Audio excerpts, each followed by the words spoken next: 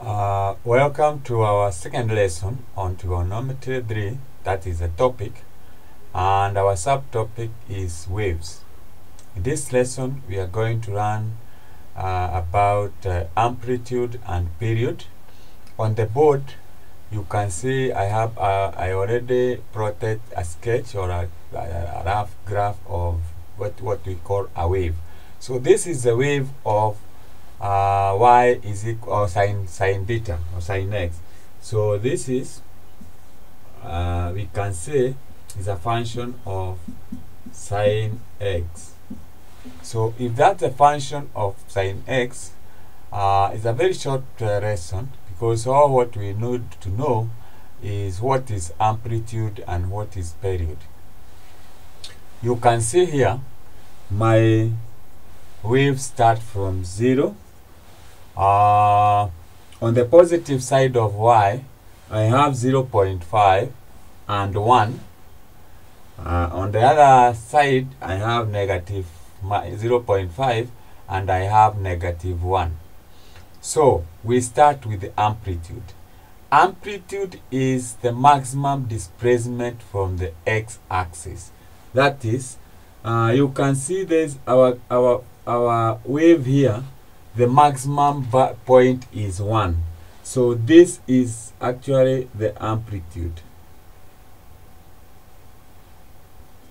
The maximum displacement. So that is the amplitude.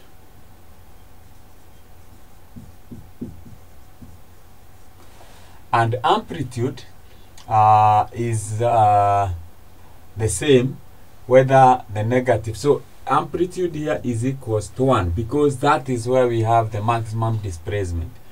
On the negative side we have this is the amplitude is equals to 1 uh, so it doesn't matter whether it is a negative side or the uh, the positive side. That is the maximum maximum displacement. Uh, then we come to period uh, you can see my wave.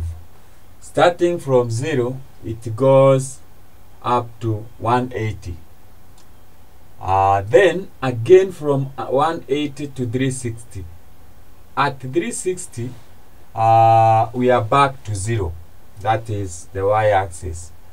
Now and uh, it has we have made a complete uh, we have made a complete uh, a complete uh, turn that is this is half and the other one is half. So when you make uh, let's say from A to B to C it is at C where we have made a complete uh, a, a, a complete cycle uh, so this is like a half. The other one is a half. So that is a complete cycle. That is what we call the period. And the period of this the, the sine wave is 360 because that is when you complete. From 360 you can see there is another 360 to take us to 720 so period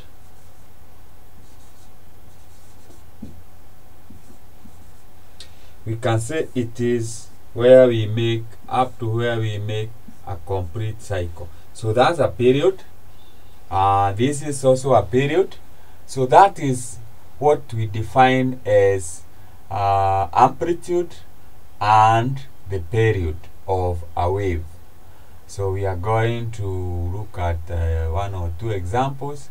Then uh, we stop there to go to the next lesson that is lesson 3 so let's do that.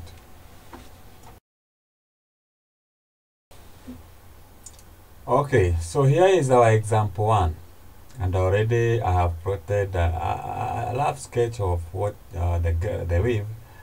Uh, and we are told to state the amplitude and the period.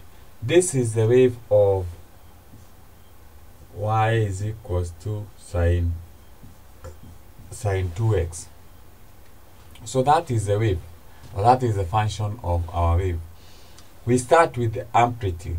We have stated or we have said that amplitude is the maximum displacement. And if you check on uh, what I have on the board, the maximum displacement is 1. The negative side is negative 1, but we are talking of displacement, which is a vector. So it can it will take the positive value. The magnitude of uh, it takes the magnitude of negative 1 is 1. So amplitude, uh, which we can use A to represent amplitude, is equals to 1. That is the maximum displacement.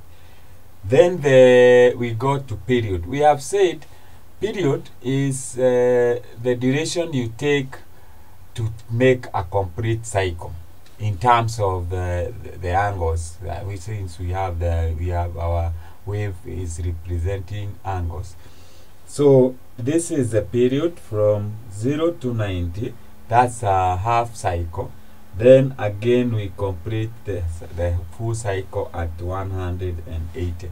That means period is equals to 180 degrees. That is uh, the angle that you take to make a complete cycle as we can see on uh, our wave. So that's how you answer that. Uh, it's not a very I think what's important is you understand what is amplitude and what is period. So I will not take so much time uh, on this because we have some other lessons that are waiting for us ahead. So that brings us to the end of this lesson. Uh, the next uh, we we are welcome to our third uh, lesson in this topic.